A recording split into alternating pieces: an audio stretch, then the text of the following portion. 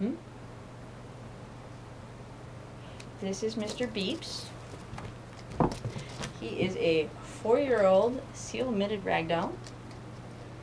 He is really fun. He is affectionate, talkative, and very playful. He would definitely prefer to be an only pet. He can take a little bit of time to settle into a new household, um, as he can be uncertain in new situations, but once he does, he is just so much fun. He would do fine with older, respectful children, um, and would be a great addition. Very loving and adorable.